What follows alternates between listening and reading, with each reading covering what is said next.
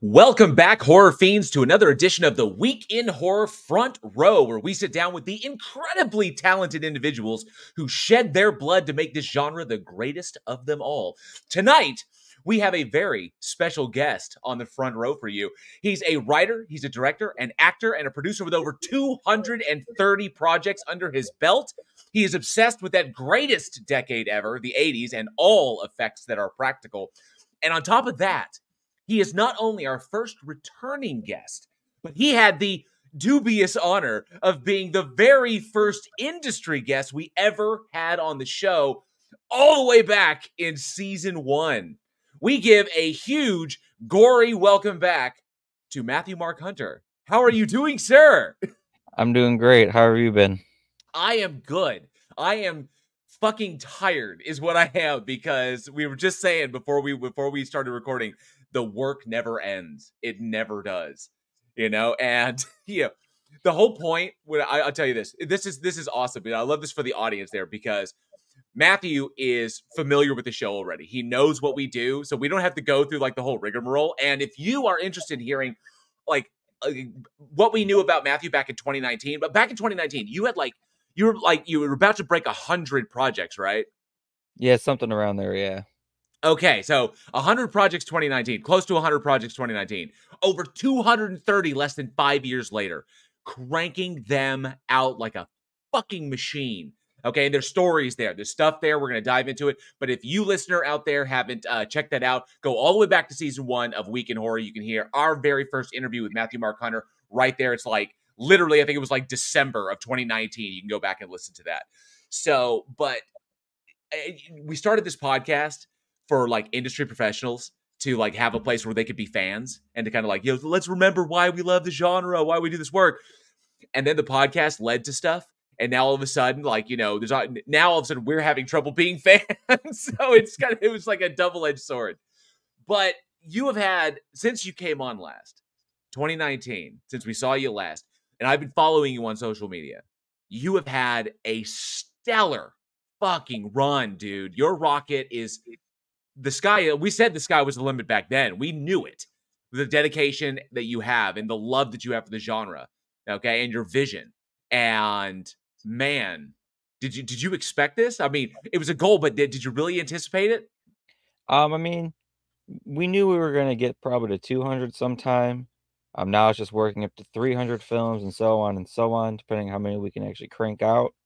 Um, I mean, we lost a lot of original people due to things but we've gained a lot of better people involved with MMH, um, which is always great to have better, newer people. Um, so it's just been a lot of stuff throughout, many things going on, creating bigger stuff, and it's just been great. I've seen the posters that you have coming out, and I love how increasingly elaborate things are becoming as you've really got these things under your belt and you're getting more and more familiar with your technique and you're learning new techniques and embracing new stuff as it comes along. It's like, I want to try this. I want to try this. I want to do this. It's like the dude who's never satisfied at the salad bar, man. He's got to try every little thing. And that is one of those great hallmarks. You know, is like, oh, we, we, we, haven't done this. Let's try this new thing, or, or, or you do something as well. I've noticed you've been writing up. You've been writing up a storm. Is there a moment uh, other than this moment right here? Is there a moment? You're, is this the first break you've gotten writing? Um, I know the the last four weekends we've been filming every weekend, so this is actually the first weekend I've had a little bit of relaxing to get some editing stuff done for the film. And then they work just called and said they don't need me to come in tomorrow, which is even better for a full weekend off to actually get more stuff done. But um I mean, even with the writing the horror stuff, we're slowly getting back into writing the kids show specials, getting back into that. Which which after this year and the like five projects of horror we're gonna be ending up doing, we're actually gonna be doing probably like one horror filming next year, and I want to focus all 2025 to like kid genre stuff for the year, and then just to take a little breather. But I'll still do like one or two things, but not as much as I've been doing nonstop. I've I've got to ask because we know that you have a love of 80s, a love of the 80s, a love of the exploitation genre, and all the little subgenres that are within there. And we, we your vision has always been so inspired. I've I've always been curious. What inspired the jump to go into kids into kids media, into children's media, because that because you can see one mentality there, but what kind of led to that? What was that uh, journey? Um, it started in like during the we really got going during when COVID was hitting. Um, but I've always wanted to do something with kids because again, all the horror films I do, most of them have child actors involved in some way or form. And we even brought some of the kids who were in the horror films to be voices of different characters in the kids show we went doing. But I've always, even with all the horror films I've watched, I also have always only watched like kids content throughout my life. Um, so the kids show's kind of like a Mr. Rogers Sesame Street kind of vibe. And when we had the first episode come out, we had a lot of negative feedback from um, parents just because once you type the kids show in on IMDb, all you see is all the horror stuff. and a lot of them are thinking like, are you gonna try to make horror into the children? Like you trying to influence them into horror? But none of them even watched what the show was about. And the show has like zero horror at all. It's like G rated. We're actually like reading a books, telling lessons. We did one like explaining um divorce to kids, dealing with death of a family member um, some other hard topics. and we go to like learning about crickets and things like that, or like taking turns and stuff every episode. Um, but even with all the negative feedback, again, I really didn't care because all the kids who were in the kids show were also in all the horror films. So even then, it's still everything's coming full circle again with everyone. Um, but even with the, that, I was like, I'm still gonna do it. I really don't matter to me. Um, then we did like a spooky story time kids show with like uh, like a little bit of scarier books, kind of like Goosebumps ish style. And we had like different puppet characters, like a raven and things. And then we just this weekend released a third kids show about like a Wild West kid show with a cowboy and a sheriff dog. And then we're slowly we had like two more episodes coming out. We just finished, but the other stuff's all been. We have episodes. We just have no time to edit anything with all the other horror uh, stuff. So that's why there I have them all done, a lot of episodes. It's just I have no time for editing with the film horror stuff, um, doing um, commercial stuff for other people for payments, of course, and then also just working a regular job too. Yes, trying to try trying to make ends meet is the is the constant struggle because the amount that goes into making it, you almost like you get lucky if you break even, you know, because oh, yeah, just, exactly yeah, because even the kids show when we started, I told everyone we're gonna make zero dollars on this. YouTube Kids, you know, we're not gonna expect any money at all. This is just for us to do for fun, which of course everyone understood that who were like the main voices, and everyone was like, I told everyone like this is gonna go on YouTube Kids. We'll probably get like 100, 200 views if that. Which again, we still have that many, but I wasn't too worried about the views. Is more the thing for me to do, and the people who do watch it at least it's something out there. And then even for like I can put it on my resume, like, hey, I can do more than just horror. I love that, and I, I, I saw that you've been you've been branching out, which I really really dig. That's that you know that that hunger to try and you know take on new stuff and challenge yourself with new things. I dig this. The uh, the the little special you're referring to was the Cowboy Jim and Benny's Wild West show. Yeah, that's the so, new one we just released. Very, very cool, very cool, and hopefully we'll you know uh, uh editing is, is always so time consuming. I myself when I do my when I do my because I have my YouTube my personal YouTube channel as well, and editing is always the lion's share. You know, I'm trying to do like a 30 minute or uh, 20 to 30 minute video, and I'm in the editing suite for like you know six seven hours to get that done, and I'm just you know fast and furious with you know dropping all the effects and shit. So it definitely takes a toll. I can understand that. Now, you brought up something interesting, and I was always curious about this. I love checking in with y'all because obviously obviously since the last time you were on the show two major things happened like two big things that affected the industry. The first was the fucking pandemic. The second was the fucking strike. So i noticed that because you mentioned that during the pandemic. So did did you stall did did did you find that that situation kind of stalled you or was, was that an opportunity uh, that you were able to seize and grow during that we did not care. As though, so we had a film shoot planned, and it was a zombie film, and it was probably like twenty ish, twenty or more people in this small house we were filming at. So not only was, did you get it, it, was inspired, it was inspiration, is what it was. Yeah, I was like, you know what? I'm not even gonna worry about it. We already had this set up. It was a week before the actual stuff where it was like lockdown, like no one can leave. It was like a week before that, and we were just we still shot the zombie film. I mean, people are everyone's like touching on each other, like people are getting bit and stuff. And luckily, all the filming we did throughout the COVID years, because we never stopped, no one in the cast and crew ever got corona, which is another great thing. Because again, I wasn't someone who was like, you have to be, um, you have to have the shot to be in the film. You know, I don't care. You can either have it, don't have it. I really don't care. You're in the film. And everyone who knew was like, we're gonna have people who don't have the vaccine, just so you know, and they were all okay with it. Because it's like I'm not gonna have someone not be in one of my horror films just for that little reason. But then we did do. I did it. Uh, the two years that really happened was like a um, lockdown seven film, and I just did seven films, one every weekend, just by myself acting about a different topic, and I had people send in voiceovers. So that was about seven weeks one year, seven weeks the next year we did that. So 14 films within 14 for 14 weeks. Um, we just had people send in voiceover and things like that. But then we did like the short films we did, we had like maybe two or three cast members, but we really didn't slow down at all during Corona at all. It wasn't a big thing to me. And uh, being independent, the, did the strike affect you at all, or did you run into issues with that? Because we saw while we're doing the pod while the podcast is kind of like outside of that we have we we saw rumblings uh, not only from the professional from like the union side but also the independent side as well.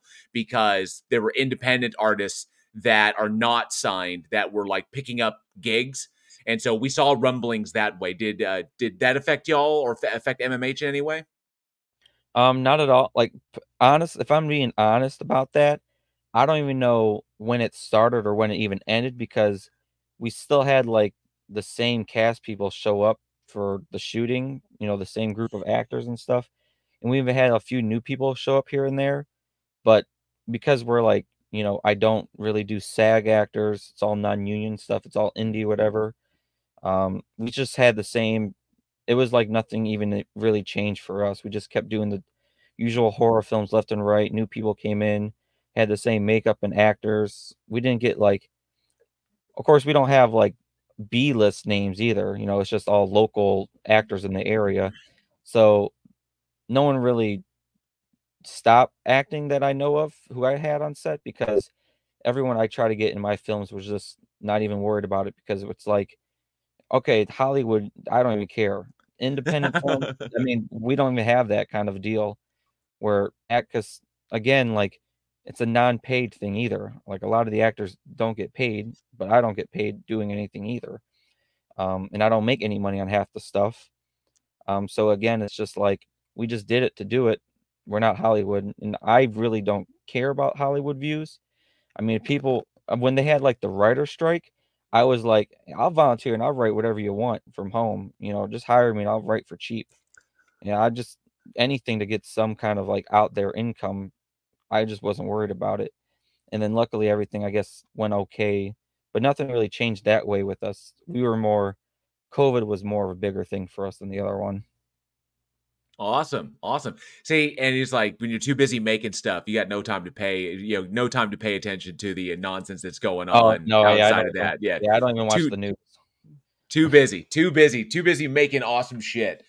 All right. So there's I noted while I was while I was following you on social media, and we always we think this is always amazing stuff because I love hearing about uh people working in this industry finally kind of like breaking through and because we mentioned you know Hollywood dealing with independent film dealing with like you know ma- you know bigger budget stuff and you know making their way but you broke through in between from 2019 to here tell me about full moon and Troma. um, because we yeah. heard about that and we lost our shit. We're like, oh, the dude who was who was putting together short films, a hundred short films, you know, at from the age of seventeen, just cranking out short films. Like, man, he's got a future. And then we saw that shit arrive. Tell me about that, man. I was I was my two favorite like inspirations for making movies, of course, is Full Moon, with everything like puppets and dolls coming to life because I do that all the time, and then also the Troma side. I always love with Lloyd Kaufman, like the um the gore splatter practical, you know, just like goofy type of shit.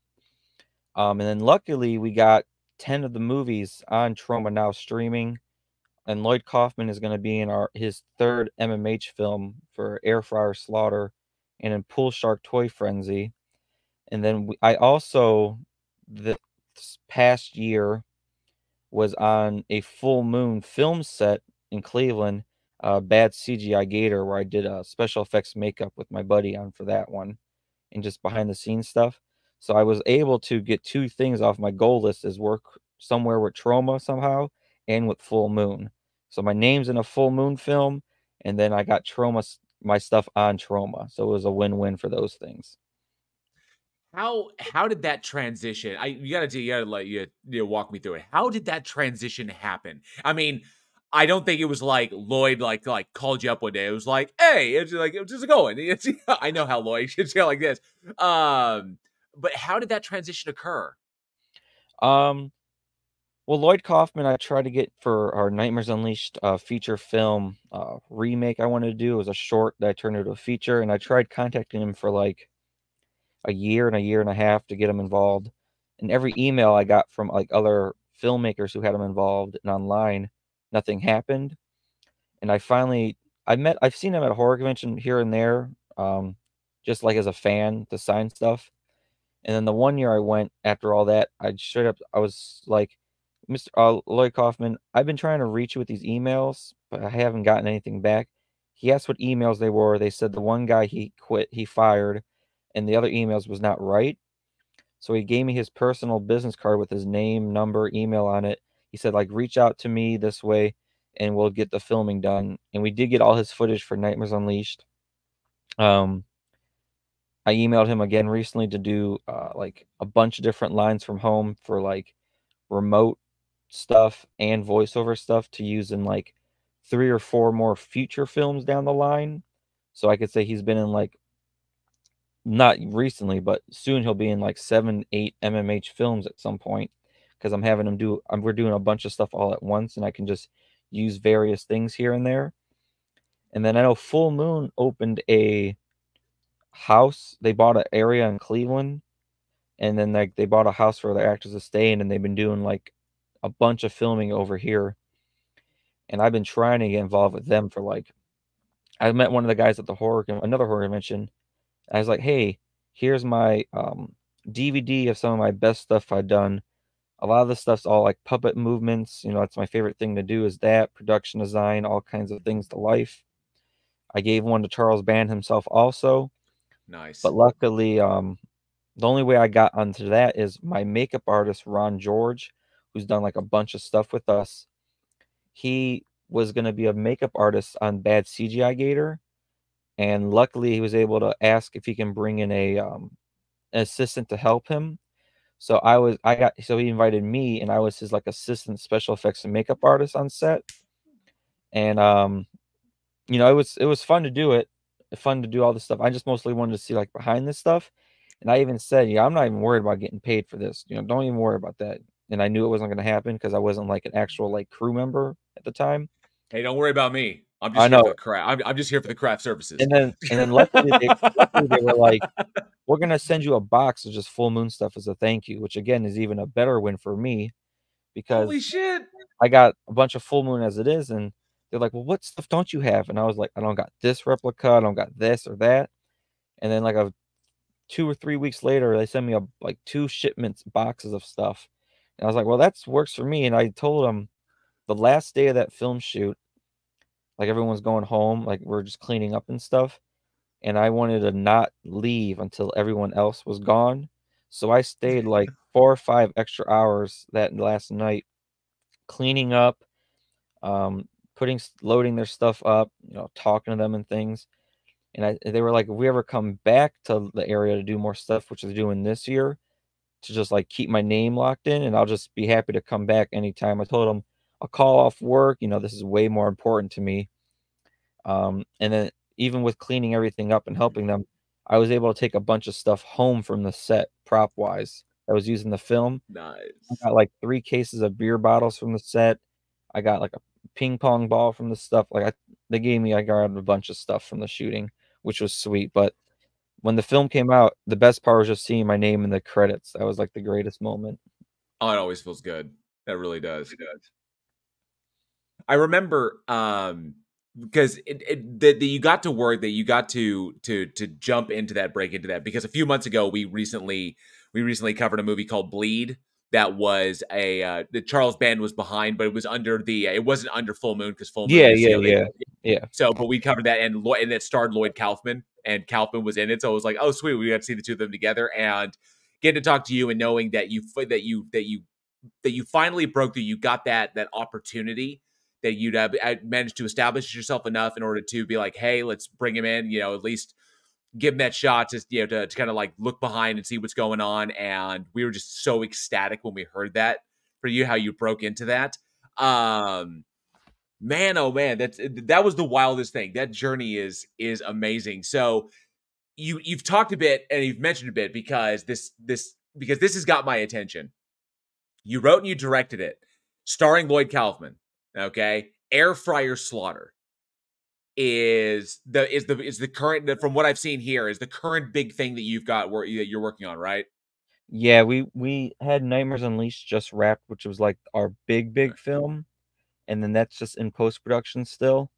Um, but once we announced like the air fryer slaughter, I because of Matt, we have to thank Max Skinner really for the support we got because like Nightmares Unleashed was like my big baby. We raised like six hundred dollars in funds in that film, I probably spent a couple grand on my own pocket just to create it.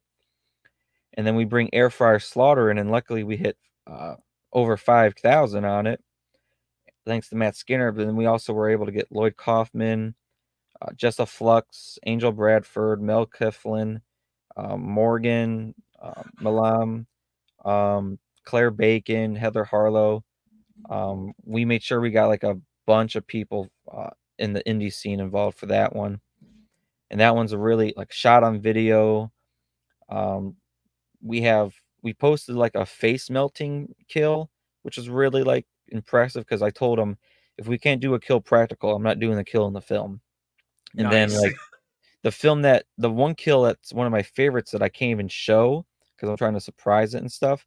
Yeah. It's um, we're calling it the air fryer eating out thing with um a female, and it's probably one of the most. It's very gory with how we did it too, but it's really nasty, gnarly um, stuff for that one. Where Air Fryer Slaughter is most likely a slasher gore fest thing coming to life thing, and then like on the other side for Nightmares Unleashed, it's more of my um horror fantasy film with like we use like we actually had crew, we had black magic camera, like a lot of heavy stuff.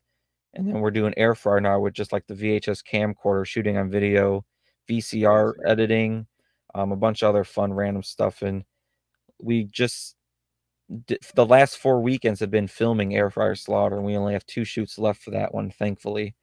Um, and then that one I'm probably gonna release um to like establish a big bigger like name for like MMH because I know more people are interested in that and then drop Nightmares Unleashed because we're going to be filming part two this summer also for Nightmares Unleashed. Um, and just hopefully those two things when they come out with Killer Poop too, when that comes out. I mean, it's going to be three big ones that are coming out at once. I love that. I like because because you've got because uh, I noticed that you've got in pre production right now because the Amityville, the Amityville, like because it's Amityville Poop, Killer Poop Two, which I I love that you tagged on the Amityville deal, and then already, and then Killer Poop Three, which is going to be great. But then I've noticed, and uh, you've already in pre-production with with Nightmares Unleashed Two, Raven's Return, which I think is.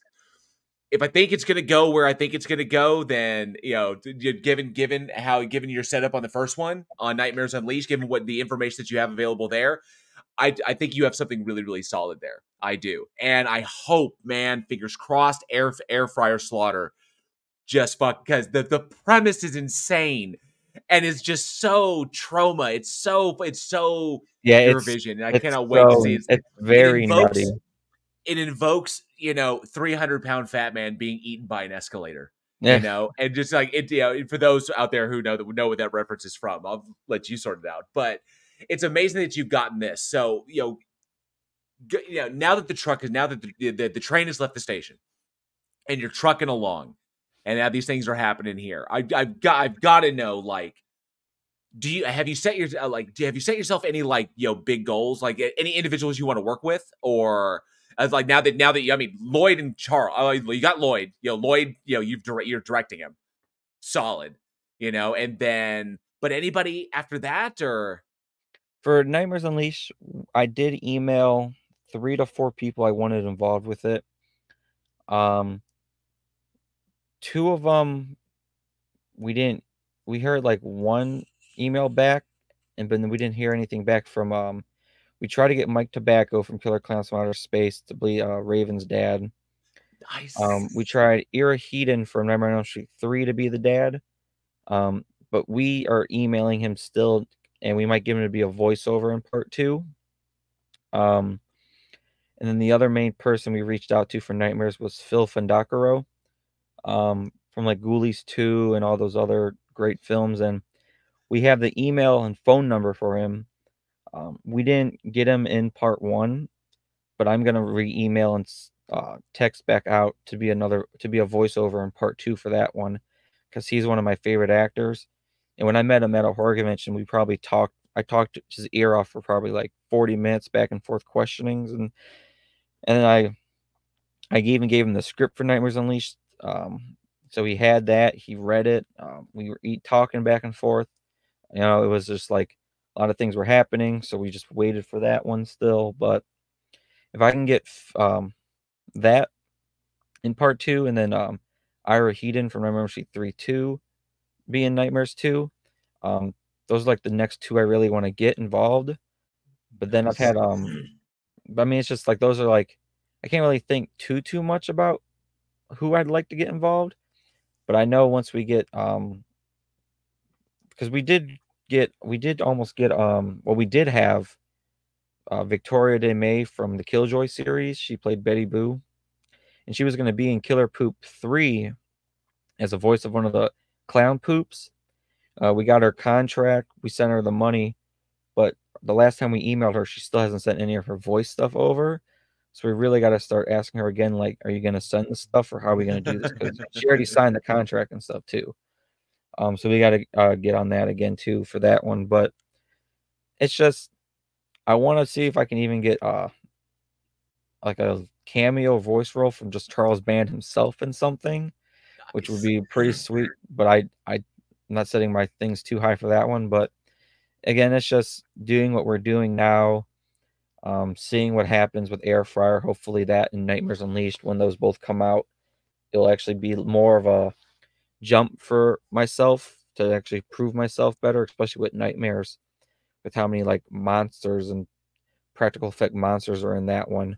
Um, hopefully, those two films are really like breakthroughs for the company. Nice, very cool.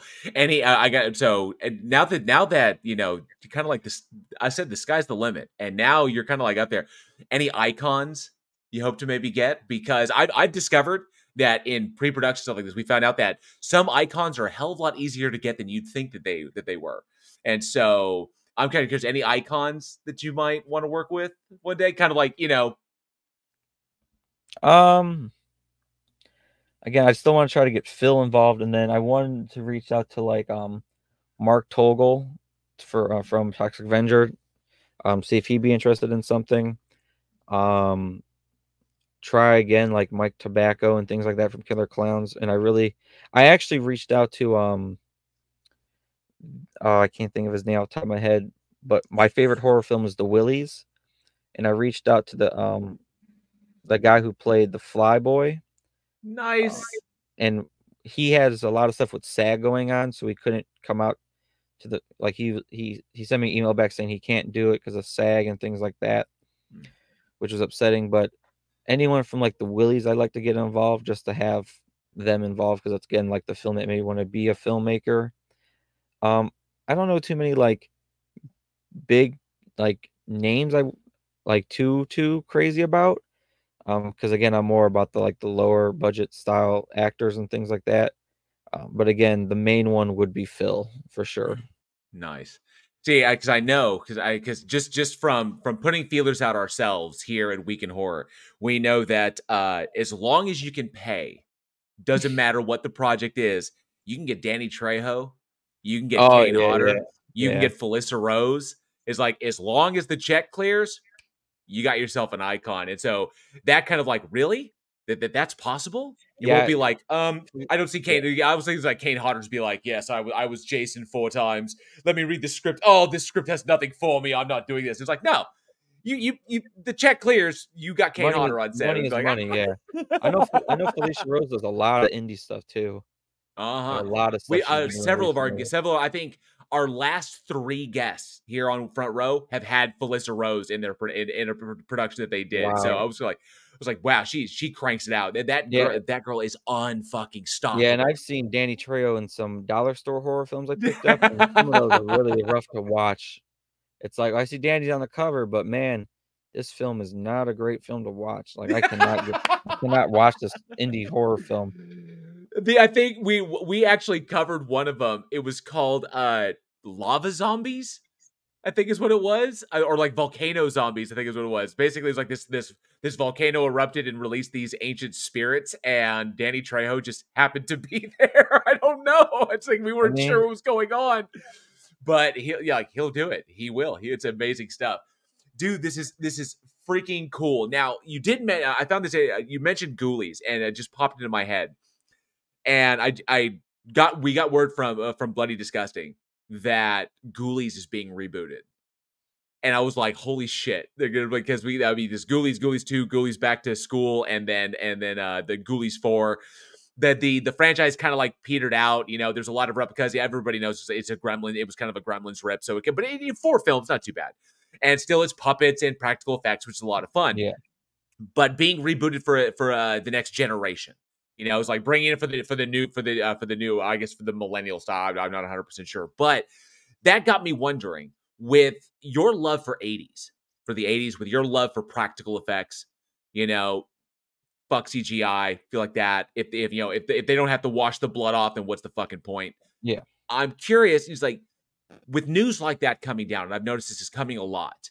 You know, the industry re you know, the industry tapping you know franchises from the 70s films films and franchises from the 70s the 80s what's your kind of view on the state of horror at this point when you're keeping it as real as possible where you are i would say just to start about the ghoulies thing that mm-hmm. ghoulies 2 is one of my like top films um i love the rat ghoulie and the uh the bat one i love the and, i love the carnival setting you know, like there and, oh yeah perfect. yeah oh it was, it was friggin' fantastic not to mention um oh i don't i don't want to i don't want to mess it up because his his um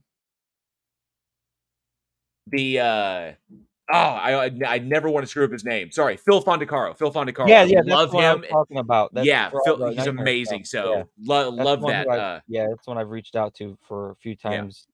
for things like that but yeah as long as they reboot the because i know it's the original people i mean as long as they still do puppets in some aspect of the Ghoulies and not just CGI monsters, I think it'll be awesome.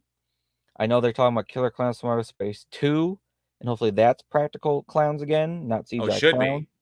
Yeah, it should it better be.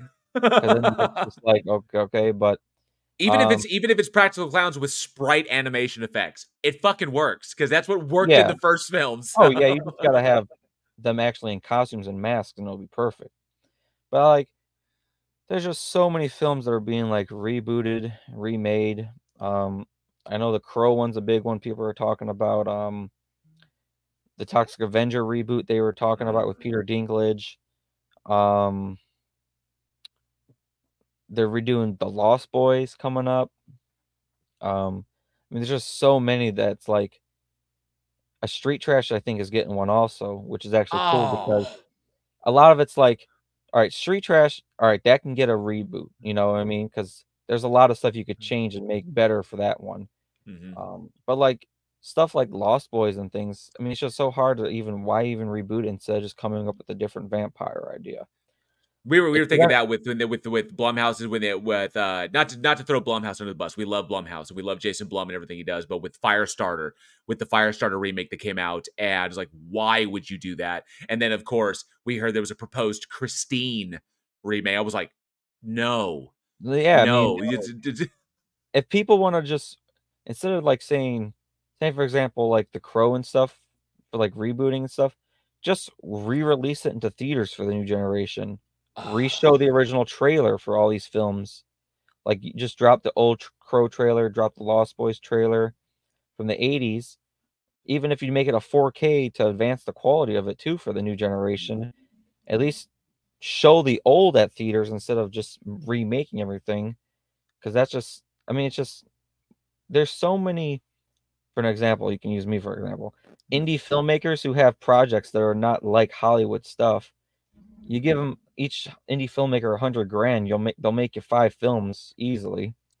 It's just like we need different ideas than just rebooting everything right. even though I'm remaking Nightmares from a short, but that's a short film into a feature, so it's a lot different. Um, but again, like I want to see the Toxic Avenger one to see what they do because I don't think they can go as much um hard R blood and gore nowadays like they could back in the day. Um, for like when I see like um PG thirteen horror films, it's like I just want to see the people die like the Five Nights at Freddy's film. I wish they actually showed blood and stuff of people dying, not just fading away from it. Um, a lot of the other films that are PG thirteen horror, I just want to see the kills and I want to see like the blood and stuff happening. I don't want to just see like feet kicking and like um fake and just fading out to black with music and screaming. I just want to actually horror films should start getting back to that R rating. Like when Thanksgiving came out by Eli Roth, I mean that was like that was really good for like horror Yes. film gore and bringing R rated horror back. So I wish, I hope R rated horror comes back more. But even as a general note, I hate the MPAA rating system. I mean it's all a bunch of bull crap. Um, it's just a bunch of people who are deciding it themselves because like even if you go back to films from like the 80s that are rated PG, they would not be rated PG today Right. because what's in it. But I mean, I think a lot of it's just over exaggerating the MPAA stuff because there was like someone posting about like how the Crow trailer should have had a red band trailer because how gruesome it was. And it's like gruesome. it's like I mean guys, people- do these I people like- even watch horror? it's like guys, I mean I, I the mo- the main comment I always say is the MPA is the most stupidest thing that they keep changing and just like the YouTube guidelines for how YouTube is changing so much crap with um demonetizing and making everything 18 plus content when it's even not. Like I know the air fryer teaser we dropped today, two seconds later YouTube flagged it already. Um, other stuff YouTube totally flagged and told me to remove it, which I had to do. So it's just like I put a rating on there that says 18 and older. You don't gotta turn it all the way off. Like I mean, it's not my fault kids are looking this crap up. You know that ain't my problem. Is I was raised where parents watched let me watch horror films as a kid. If I got scared, they'd show the behind the scene footage. Someone's in makeup. You know this is fake. It's an actor. If parents would just say this stuff is fake, you can see there's just behind the scenes footage. Like that monster is not real, guys. It's obviously CGI made. So I mean, if parents were not so, if parents would just sh- explain to their kids better, like the stuff's fake, and not be scared to show them stuff, I mean, it's not even a big deal in a sense. Sure, nudity, close your eyes, you know, turn away, stuff like that. Nudity, you can hold off to they're a little older if you want. Me, I had to just close my eyes without watching, but horror stuff, my parents didn't care. I mean, it's not gonna. It didn't make me a serial killer, like they always say. Video games make you shoot right, yeah. I, I mean, I make horror films, but I don't actually kill anyone in the films. But it's the same way. It's just like if someone's gonna watch something, they're gonna find it and watch it anyway. There's no stopping. Eh, the way kids are these days at- school alone, they say worse stuff than I do in my own films. So it really doesn't even matter in that sense either. I See, hear there's kids truth to it. There's, swearing. there's truth to it. Movies Yeah, hear- don't create movies don't create psychos. Movies make psychos more creative. yeah. like even like my recent stuff, I don't have any. I haven't written swear words in a lot of my recent scripts at all. I just haven't had a need to like say F U F that like I did before like I had before. Like half the, a lot of the cast ask me now. They're like, "Can I swear in this part?" Like they ask me if they can swear. I'm thinking, yeah, it's fine for this. Let's go ahead. But I don't like I feel like it, I feel like this calls for an F word. What do you think? Yeah. They can feel it. Feel. I'm feeling my character would say "fuck" at this moment. but like for air fryer, I wasn't too like worried about it. But for Nightmares Unleashed, we did it where because it's the fantasy horror, there's no need for swearing. I think we called uh we used the word bitch once, but I didn't want to use any F bombs. Um but also doing it that way, I think I let one actor drop one F bomb. But the way we shot Nightmares is we have an R rated cut with a nude scene. And then we actually did a PG 13 cut where we cut the camera above the boobs so you actually don't see anything. That way we can have a PG 13 cut for the um, kids who were in the film and an R rated cut that we can show elsewhere. Like different festivals might want the not R rated cut, but they want a PG 13 cut. So we shot it in a way where we can have two different versions of the film now. Nice. Very well. planning ahead. And going Yeah. back to, to what you said about FNAF is like, yeah, the Five Nights at Freddy movie is kind of like, come on, Willy's Wonderland was the Five Nights at Freddy movie that we Yeah, basically that one I, I'd Yeah. rather watch Willy's Wonderland any day than the Five Nights at Freddy's film. Any Um, day. yeah. And it, it's it's awesome because the story behind that, and, and I imagine was is kind of similar to the experiences that you had because when they were filming that, the pandemic hit and everything went on lockdown. And so at the abandoned bowling alley, the derelict bowling alley they were shooting at, where they'd converted half of it into the into the into the, the pizza place, and the other half was you know kind of like production area. They had to turn that into quarters because when they when the lockdowns hit, nobody could leave. So Nick Cage, the entire cast, and all the crew were all living in that space for like three months while they were stuck. They were stuck there. Nobody could go anywhere. And they they said apparently it was awesome. It was like you know it was like it wasn't overbearing. Nick Cage was just awesome. You know, and you know, it was just kind of cool to be there in that kind of be there in that situation. I But mean, yeah, yeah, Nick, the- eh, Nick Cage did get his paycheck for that too. That's that's another thing. He got his paycheck for. but yeah, the the remakes, reboots, and and I say this while Week in Horror has a reboot like on the burner as we speak, and so I say this, but you, I like how you pointed out that there's a point when it it can be done and it's justified being done. You know, if it if the if something is old and deserves a retelling or kind of like something new to bring to a new generation or to kind of reflect that, very similar to Maniac with you know the Maniac that came out in 1980, you know the Spinell uh, version. Then of course you got the Elijah Wood version that uh, brought out, and they're like that it was fucking amazing. What a way to retell that story, to tell the Oh, same yeah. story but kind of tell it in a new way. And Yeah, I and- love that, but just capture trying to capitalize on smashing that fucking nostalgia button. Yeah, like, like, Black oh, nostalgia. It just drives me insane.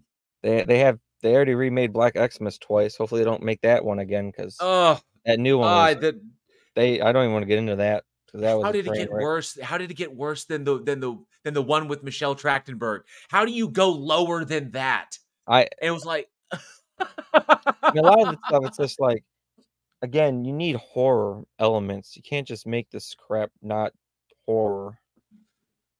I even seen a film recently that had the uh, fake blood splatter, and I'm thinking, why is the actor not bloody after just killing someone? I just cannot stand that.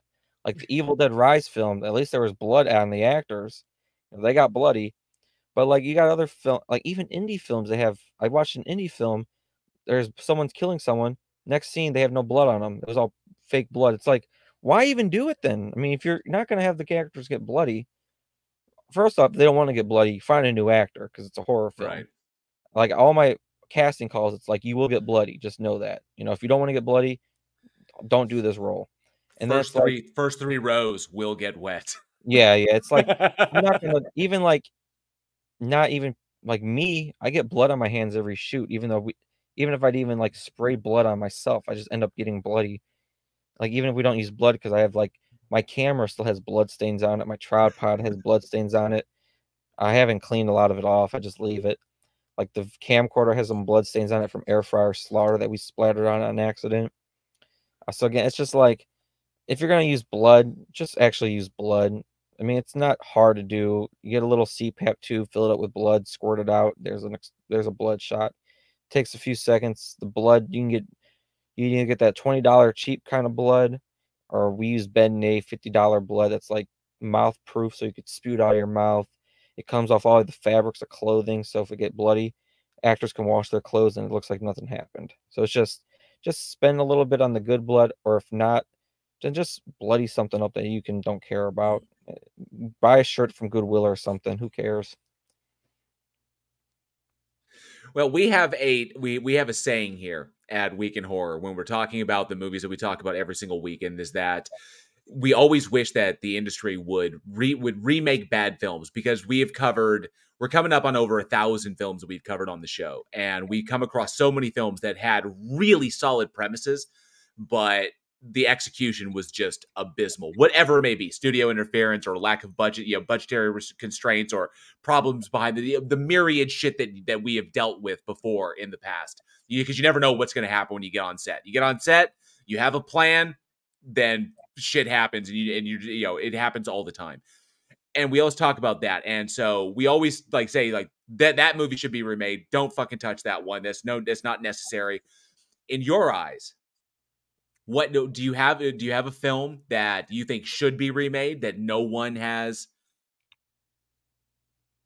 no if, no one has considered yet if i could personally remake it myself because i think i can make the film with how i make movies with like the child actors and like the uh, practical effects and monsters and stuff. Again, if I had the rights to it to remake any horror film, I would do The Willies from 1990 just because it's like my favorite film and I think it could really be used for new generation. I would try to just advance some of the stuff they did. Like I'd still keep Poodle in a microwave, but maybe change the dog to something. Um, but again, or like you could redo Attack of the Killer Tomatoes if you really wanted to make it gory too. I mean, you get even if you want to do like actual real tomatoes, you could throw on a fake CGI face on them. You know, I'm not too worried about that. That might be better than just throwing googly eyes on a tomato, but um I mean, I'm excited for the Street Trash one because I think Street Trash could be better than what it is. Um because I'm really excited to see what they do to Street Trash. I think they're doing it on video again too, which is really a neat idea. Um, maybe hmm, I don't even know. Maybe I know when the Puppet Master reboot was really good. When um, hmm. I forgot what company did it, but that one was really good. The Puppet Master one. Maybe like redo a Chud, but make it more. Oh, that would be a cool one because I mean, the way they got sets, they can totally like the Jim Henson Company. I think we're doing the um Five Nights at Freddy's stuff. It's not hard right. to make a Chud outfit with like a moving Chud, like full on Chud looking monster with the sewers, and just extend that a little bit. But and what we can pull off today with what they physically can do with like you know the stretchy shit and they like that. I mean, with what we can with what can be pulled off today with practical effects compared to you know back then. Oh, I think yeah, easily, that would be an yeah. amazing remake as, as, long as it was kept practical. Yeah, as long as you, you could do that. Yeah, a lot of the stuff I like 80s style. If they bring it a reboot and it's not practical at all, it just like it takes me out of watching it. It's like I rather just I want to see something. I don't want to see a CGI chud if it was a thing. It's not hard to get a guy that you can get like um not the Doug Jones, but the guy who played that vampire in the um uh Javier Botet. Yeah, yeah. I mean, he has the built for like creature suits too. You can get him in something um his height and his arms. I mean, that's a creepy chud walking to you also. Put him in outfits and stuff. And then like I think a lot of Sincast films would be cool to see again like no, I can't say that. Actually, I'm going to cut that. Yeah, I don't want to say that. I don't even want to say the two films I was thinking of because I know they'd ruin basket case and brain damage. you can't do better than that. But um, I mean, it's just hard because a lot. Like I know they they're still making new Saw films, which is like crazy that they're still doing Saws. Final Destination's coming back out with another one too, right. which is crazy. It's just it kind of blew my mind. They kind of blew my mind. Saw X actually i was like because i saw it i saw yeah i saw i've watched i saw saw but i watched them up until you know i saw like I, I up until like you know nine and i was or up until eight and i was like uh and then i saw spiral and i was like okay uh, yeah, all right, you know, um, you know, mid, you know, middling. Okay, Chris Rock is cool. I didn't know that Chris Rock was a was a Saw super fan, but then Saw X came out, and I was like, damn, that was actually pretty good. It was a hell of a lot better than I anticipated. It was like, is this? Are we going to see a resurgence? Apparently, because we got another one coming out this year. So, yeah, I mean, like Saw Eight to me, the Jigsaw one, it felt way more comedy Saw to me than horror Saw. Mm. Like it, it's like I don't like the Jigsaw one is like number eight. I think it's way too comedic for the horror. But when Saw 10 came out, I'm thinking, this is really I like this. You know, I like the gores and stuff. So I hope they do more stuff like that for the next one too. And again, them traps aren't CGI either. Because I mean you gotta make the traps, which is sweet. I wasn't um, so much on board with the whole like, you know, Tobin Bell with the backwards cap. Hey kids, how are you? Just, oh yeah, yeah, You know, hey hip kids, what's happening? I did, you know, trying to like, you know, was like, Make hey, it's the nineties. Yeah. I was like, I mean, okay, a, that man, that man's a treasure though, Tobin Bell. He's oh, he's a, a, national treasure. And one of my favorite acting, ones. Uh, one of my favorite ones is him and Lin, him and Lin Shaye together. Fuck yeah, I mean that too. Those two together, just commanding. Go ahead. Sorry. Yeah, I mean his like Saw Ten, his normal acting is like really good in that one. Like he's a good actor outside like the horror stuff that people like. I know he played um he was in like a Skelter Helter type of thing. I know, and he was really good in that one too, acting wise. He was uh there was a um there was a movie uh what was it uh Tobin Bell and Lin Shaye The Call we're about a, a, bunch of kids breaking into a house, and you know, Lin is the way. You know, it's owned by uh, this this old couple, uh, Tobin Bell and and played by Tobin Bell and Lin and it, it was a rare opportunity to see Tobin really know really express himself as an actor because we get to see him not only as like an antagonist you know because he, you know, he plays a, such a phenomenal antagonist but also in the in the moments between him and Lin to see the vulnerable side see that yes this man is extraordinarily talented. Look at him go like I'm the bad guy, and then in these moments, look, I'm a vulnerable husband, and this is my wife, and she is dying and sick. And see these moments. I love that. You know, I love that we get those little moments when filmmakers, when we get pro, when we get projects that allow actors to showcase why they are as talented as they are. It's like, it's like this is why they are, are who they are. You know, I, I that's what I that's what I want. I want to be able to see that stuff, which is always so cool. All right. So, oh. given how many things that you have in pre-production, which looking at this is just I I don't know when you sleep. I swear to mm. God, man, it's like wh- wh- like this is like 20 things in pre-production in various stages of production. This is this is nuts. I'm so glad that you have a dedicated team behind you. Yeah, I mean it's got the dedicated team and then of course family, parents are always behind it, but I know a lot of like the um upcoming stuff is like um stuff I've written. I just like I know Gum, I had an idea for that back in 2017 and I just wrote a small part for it, but we never actually have done anything with it. So like a couple of them I have full-length scripts for already. And they're written, I just don't have any time to film them, so they're just going to stay in pre-production for like a while longer. Mm-hmm. Um but a lot of the stuff is I'm trying to pump out what I can when I can. I love that you got it. Uh, that you got it all there. It, that those are those is like my. There's like yeah, we got this. We got all these ideas that are churning, and they are in various stages. We're going to get them done. That's that dedication that I wish that I think the industry itself could take a fucking lesson from. Is like, look, original ideas, while often tough to come by, or trying to do something and make it your own, is it should be the standard not just rehashing shit to punch on people's nostalgia buttons, you know, in order to try and make as much money as possible for as less expenditure. And it's just, it's just, come on, do the work. You here, sir, are doing the work and making the genre all the better for it. You know, I absolutely, I, I fucking love it. It's amazing. Please tell us, please tell the listeners where we can find all of your stuff, where they can watch all your cool stuff, wherever it might might be. Plug plug yourself away, sir. Um, 10 films of ours are on Troma Now streaming. You can just type in Matthew Mark Hunter, and all 10 films I was a part of that I made will come up. Um, those are a lot of those are ones that aren't available on YouTube to watch for free. Um, they're either streaming or on, they're on DVD. MMH Productions on YouTube is your go-to spot for all our um, comedy horror short shorts, um, stuff I do every like we shoot something in a weekend, be done with it. It might not be the best quality, but it's still a, a horror film. Um, so we have those on YouTube. Um, if you reach out to me on Facebook or Instagram, Matthew Mark Hunter, I can send you an eBay link. Um, and you could buy the films that aren't on YouTube that are on DVD only um, from eBay. We have like combo packs where it's like get 10 shorts in this one bundle. We have the feature films on DVD. Uh, we're always bringing out new stuff for that one. Um, and that's really it. We have MMH Productions on YouTube, and then Wonderful World Show is also on YouTube, which is my kids' channel. Um, so if you have like kids who like just watching kids stuff, that's available to that also. Mm-hmm. Or if you just want to see my two sides, my Gemini life, horror and kids, you can do that too. But MMH Productions on YouTube is the go-to spot. That is awesome. That is awesome. Well, Matthew, I know that you are super busy and you have got tons of shit going on. And we have this has been an amazing discussion, but I know I gotta let you go.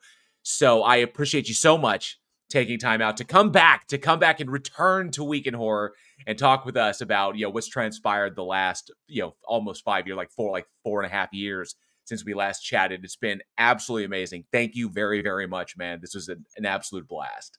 Oh yeah, thank you again for having me. And I know um when you guys see this, we'll have an in demand still for the air fryer slaughter on Indiegogo. Yes. And it's gonna be in demand for like a few more months.